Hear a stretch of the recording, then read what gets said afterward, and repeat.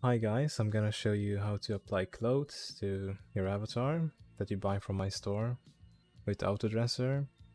So first of all, you wanna import the clothes as I have here already. And you wanna of course import Autodresser. And then you want to hide the clothes on your avatar. And you wanna drag in the clothes.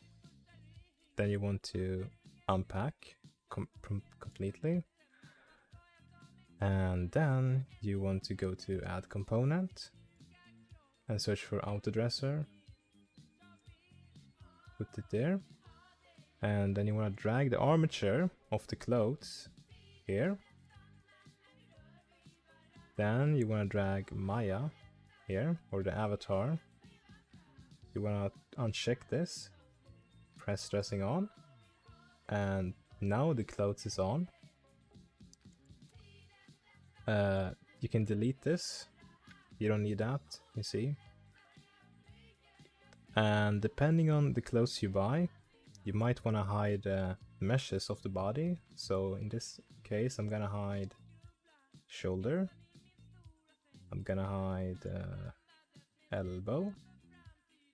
I'm gonna hide uh, this one, hips. Hips too.